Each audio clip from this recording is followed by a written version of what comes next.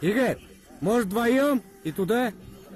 Бесполезно? Еще утром этот дедушка, наверное, и не подозревал, что его будут носить на руках, да еще и стражи порядка. Не думали об этом и автоинспекторы, когда увидели человека, пытающегося перейти дорогу. Мужчина с трудом передвигался на костылях. Сотрудники ГИБДД, как супергерои, мимо проехать не смогли. Я не могу э, проехать мимо или пройти э, таких ситуаций. Капитан полиции Игорь Громов пришел на помощь коллегам, но помощь понадобилась уже на подходе.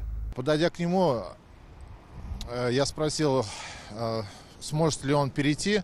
Вот, мы с ним вместе попробовали это сделать, но в связи с э, обледенением проезжей части и большой заснеженностью э, дороги, ему это самостоятельно у него это не получилось сделать. Вот и взял инспектор деда на руки. И такое ему не впервой. У отца автоинспектора инвалидность. И Игорь знает, как сложно порой бывает без посторонней помощи. Такой поступок уже окрестили настоящим подвигом в социальных сетях.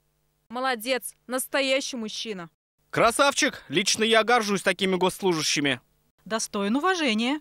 Человек в надежных руках. Интернет-супергероем стал еще один татарстанский автоинспектор. Это произошло на трассе М7. Аномальная метель застала сотрудника ГИБДД на посту. Раз за разом унесенному ветром приходилось с трудом, но возвращаться обратно.